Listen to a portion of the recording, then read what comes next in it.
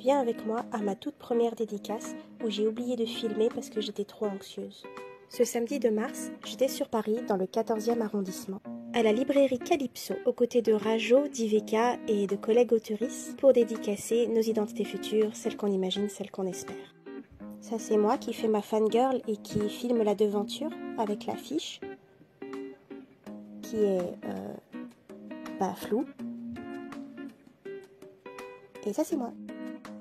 À la base, je voulais filmer un vlog pour YouTube. C'est pour ça que ces images sont pas super bien cadrées. Je sais pas pourquoi j'ai filmé mes pieds. J'ai oublié d'éteindre la caméra à ce moment-là. Les images de tous les livres là ont été filmées à l'horizontale à la base. C'est pour ça que c'est pas super bien cadré.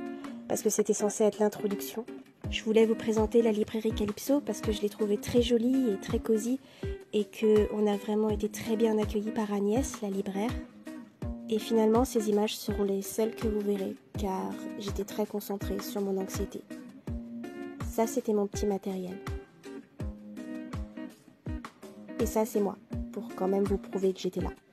Les événements sociaux, c'est quelque chose qui est très compliqué pour moi et c'est pour ça que j'écris autant, que j'aime autant écrire, parce que ça me permet de parler et de parler avec des gens et de parler avec vous sans avoir à parler, justement il est très compliqué pour moi de me sentir à l'aise à l'extérieur de chez moi, de me sentir en sécurité à l'extérieur de chez moi, ou de tout simplement me sentir à l'aise euh, et bien dans ma peau quand il y a des gens autour de moi. Malgré ça, je suis contente d'avoir réussi à le faire et je suis contente de l'avoir fait aux côtés de Elka Emani, Noé Nat et Roman Ledin qui ont été absolument incroyables. Et je suis vraiment très touchée que euh, des amis de la vraie vie soient venus me voir et que des personnes des réseaux sociaux soient venues me voir. Sachez que depuis hier, je rejoue en boucle nos interactions parce que j'ai l'impression de ne pas avoir été assez présente pour vous, de ne pas avoir été euh, assez éloquente, de ne pas avoir été assez tout court, que vous méritiez mieux pour une première rencontre, que vous aviez fait le déplacement et que j'ai pas été une autrice suffisante pour vous. Alors dans ce réel, je vous remercie pour la millième fois d'avoir été là pour moi, d'avoir fait le déplacement pour moi, d'être venu me voir. Euh, ça me touche énormément. Merci beaucoup et je pense que je ne vous le dirai jamais assez. Ça, c'est l'épaule de mon papa qui m'a fait la surprise de venir me rendre visite et qui a discuté avec tout le monde et qui a fait mouche avec tout le monde. Tout le monde m'a dit que mon père était trop sympa. J'étais très contente de le voir, tout comme j'étais très contente de voir ma maman et de voir mes amis Clémentine et Adrien si jamais vous passez par là.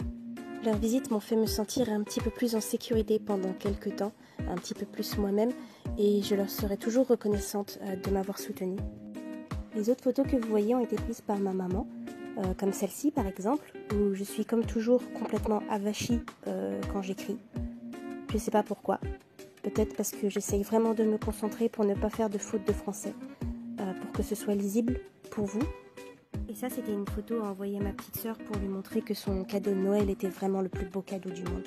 Merci encore à la librairie Calypso de nous avoir accueillis pour cette expérience aussi euh, agréable que terrifiante. C'était ma toute première dédicace officielle et j'en ai encore un peu l'estomac noué. Merci à Rajo et à Diveka d'avoir cru en nos textes, nos messages et d'avoir voulu les partager. Et merci à vous, lecteurs, lectrices et lectrices, d'être venus nous voir ou non d'avoir lu nos textes ou non, de les avoir aimés ou non, et d'être là dans cette aventure incroyable.